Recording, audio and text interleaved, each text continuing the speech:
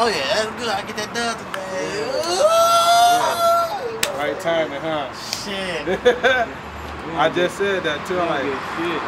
yeah, I got to listen to that dub too. Yeah, So. money. Man, stop talking to me like Oh, you know, not like you know me or something, Real talk. dude. Man, you just spit in my face like I'm a little ass dude or something, man. Man, you all gonna go somewhere, nigga. Something. World Star, piece him up.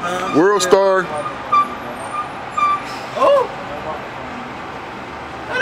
Oh! Man,